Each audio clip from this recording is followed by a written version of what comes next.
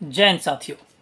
साथियों very very good morning and welcome back again my channel Anil army rider blogs तो दोस्तों, आज फिर आपके आपके लिए मैं बहुत ही इम्पोर्टेंट और बहुत ही महत्वपूर्ण जानकारी लेके आ गया हूँ दोस्तों, जो मेरे युवा भाई हैं, जो सिविल में बहुत ज़्यादा अपने जो तैयारी कर रहे हैं, अपने जो अग्निवीर की भर्ती के लिए दोस्तों तो प्लीज़ आप लोग बिल्कुल मेहनत से एकदम अपने बिल्कुल बहुत ज़्यादा हार्ड वर्क से आपको क्या है, बहुत ज़्यादा मेहनत करने की ज़रूरत है दोस्तों। अगर आप मेहनत नहीं करेंगे तो आपको अपनी लाइफ में सक्सेस नहीं मिलेगी दोस्तों। इसलिए मेहनत बहुत ही ज़्यादा ज़रूरी है और मेहनत के साथ साथ आपको स्मार्ट वर्क करना भी बहुत ज़्यादा ज़रूरी है दोस्तों। जिसकी वजह से आप क्या अपनी लाइफ में सक्सेस पा सकते हैं और भर्ती ज़रूर हो सकते हैं दोस्तों। तो दोस्तों, अगर आप भी इसी तरह की जानकारियाँ पाना चाहते हैं दोस्तों तो मेरे चैनल को ज़रूर सब्सक्राइब कर लें। और दोस्तों, अगर चैनल पर नए हों तो बिल्कुल सब्सक्राइब करें दोस्तों, और अगर चैनल पर नए नहीं हो तो बेल नोटिफिकेशन बटन को दबाना ना भूलें ताकि मेरी हर एक वीडियो की नोटिफिकेशन आप तक पहुँच सके दोस्तों।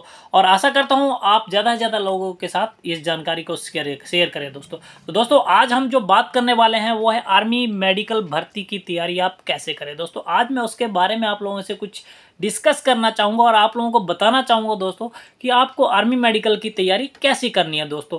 जब आपका जितने भी आपके एग्ज़ाम्स वगैरह हो जाते हैं दोस्तों जब आपका जो जो फ़िज़िकल है हो जाता है दोस्तों आपका जो रिटर्न है वो हो जाता है दोस्तों एंड उसके बाद आपका जो मेडिकल है सॉरी मेडिकल नहीं उसके बाद आपका फ़िज़िकल है वो हो जाता है देन उसके बाद क्या आपका मेडिकल की बारी आती है दोस्तों। तो मेडिकल जब सारे परीक्षण आपके पूरे हो जाते हैं दोस्तों तो आपको मेडिकल के लिए क्या है बुलाया जाता है दो, बुलाया जाता है दोस्तों।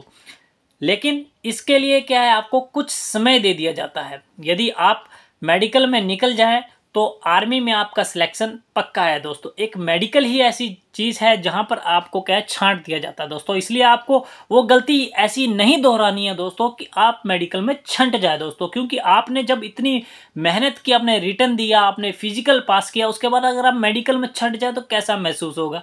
ये हर कोई अपने जो जवान है, एक जो यंगर यंगेस्टर है, वो ये जानता है कि अगर मैं एक मेडिकल में पहुँच जाता हूँ, वहाँ से छट जाता हूँ तो कितना उससे दुख लगता है दोस्तों। तो इसी चीज़ के लिए हमने पहले से ही क्या प्रिपरेशन करके रखनी है दोस्तों। तो दोस्तों, यदि आप अगर मेडिकल से बाहर हो जाते हैं तो तो भी आपको जितने, जितना आप प्रयास कर रहे हैं, या आप अभी तक जितने भी आपने प्रयास किए थे, वो विफल हो जाएँगे दोस्तों। कि अगर आप जितना भी आपने मेडिकल में, क्योंकि आपने जितना भी अगर अपनी मेहनत की शुरू से लेके आपने दिन रात मेहनत की, आपने रिटर्न की तैयारी की, उसके बाद आपने दोस्तों फ़िज़िकल की तैयारी की, और उसके बाद आप मेडिकल में आके अगर छट जाते हैं तो आपकी मेहनत पूरी क्या है, विफल हो जाएगी दोस्तों। इसलिए क्या है, आपको अपने क्या है, स्वास्थ्य का ध्यान रखना होगा, और जो मैं चीज़ें आपको इम्पोर्टेंट चीज़ें बता रहा हूँ दोस्तों, उसका आपको ज़रूर ध्यान रखना है दोस्तों। सबसे पहले खान पीन का विशेष ध्यान रखना है। आपको बाहर का ऐसा कुछ भी नहीं खाना है जिससे कि आपके स्वास्थ्य पर गलत असर पड़े दोस्तों। आपको खाना जो है, घर का खाना है तथा तेलीय पदार्थों उसको आपने खुद से दूर रखना है दोस्तों और हल्का खाना खाना है दोस्तों।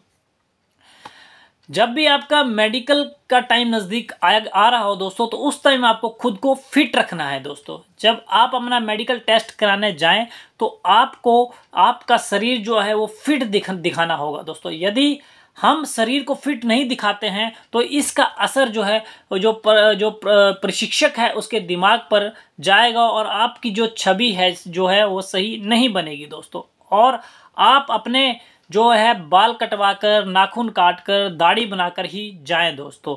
और साथ ही आप अपने कान की सफ़ाई भी करवाएँ। इसके लिए आप डॉक्टर के पास जा सकते हैं और इसके लिए आपको खास सावधानी बरतनी होगी दोस्तों। दोस्तों, अगर जानकारी अच्छी लगी हो तो प्लीज़ चैनल को लाइक कर दें, शेयर कर दें और चैनल पर नए हो तो बेल नोटिफिकेशन आइकन को दबाना ना भूलें और चैनल को सब्सक्राइब करना ना भूलें दोस्तों, ताकि मेरे नेक्स्ट वीडियो की नोटिफिकेशन आपको टाइम से मिल सके।